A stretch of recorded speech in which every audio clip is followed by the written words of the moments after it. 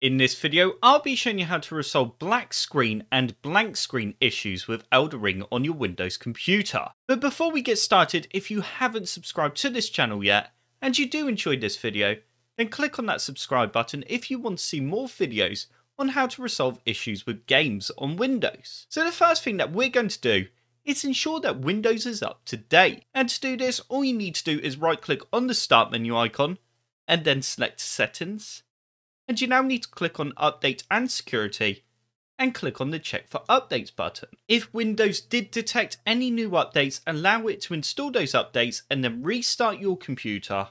And you then need to now ensure you have the latest driver installed for your graphics card. So if you're not sure what graphics card you have in your computer, then you can find this out by right clicking on the Start menu icon and then selecting Device Manager. You now need to expand Display Adapters and as you can see, I have an NVIDIA graphics card, which means I need to go to the NVIDIA website, and I then need to download a driver for the GTX 1660 Super.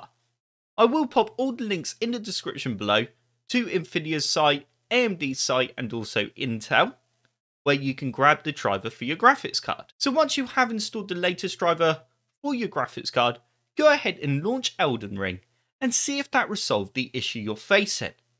If it didn't, then the next thing you need to do is just change the cable that you have plugged into your monitor if you do have a spare cable lying around. If you don't have a spare cable, but you do have another second port on the back of your monitor that you can swap the cable to, then do that. And also, if you have a spare slot on your graphics card that you can switch your cable to, then try that as well as it could just be an issue with the port that you currently have the cable plugged into. And it will also ensure that you have got the cable plugged in correctly. I know you're probably thinking, wow, I'm watching this video right now using that cable in the ports that it's plugged into and I've never had any issues before, it's still worth giving it a try as I have had this issue in the past and when I changed the cable over into a different port, it did resolve the issue for the game. So the next thing that you need to do when you launch Elden Ring and you're getting the black screen or blank screen, keep pressing escape in case it's an issue with one of the intro videos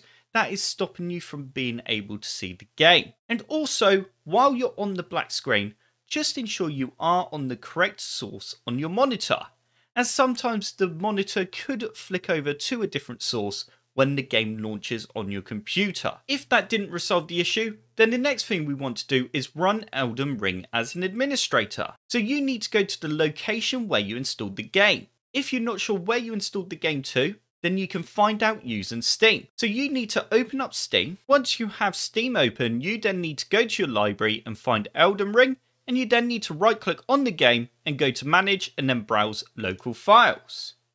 You then need to go into the game folder and you now need to right click on the eldenring.exe and go to properties. We then need to select compatibility and you then need to tick the option that says run this program as an administrator and press apply and OK. Once you've done that, go ahead and launch the game and if that didn't help, then the next thing you want to do is go back to this window and this time tick disable full screen optimizations and press apply and OK. Now launch the game again and see if that resolved the black screen issues you're facing. If that didn't help resolve the blank screen that you're receiving, you now need to close everything down and go to your desktop. Once you're on your desktop, you now need to right click and go to display settings. We then need to scroll down and you now need to lower your display resolution. So as you can see, I'm on 1920 by 1080. So I'd now go down to 1440 by 900. Once you have changed the resolution, go ahead again and launch the game and hopefully that would have helped. If it didn't and you're using a high refresh rate, then try changing this as well, which can also be done within here. So go back to this window and scroll down and then select advanced display settings.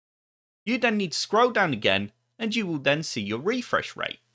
Try lowering this down to 60 if you're able to, if you are using a higher refresh rate. If you're already using 60, then try choosing a lower setting that you have available. Once you've done that, go ahead again and launch the game. If it's still a blank screen when you're in the game, the next thing to do is keep the game open, but this time we're going to try restarting the graphics driver while you've got the game open. This can be done by holding down the Windows key, Control, Shift, and then pressing B. Your screen will then flicker, and this means that the driver has been restarted, and that will hopefully help resolve the issue. If it didn't, then you may need to reinstall the game, unfortunately. So that does now bring me to the end of this video. I hope this video did help you out and get you back into Elden Ring. If you did like the video, click the like button below, and if you'd like to see more computer sluggish videos, then click on that subscribe button. If you do subscribe, then I will see you in the next video.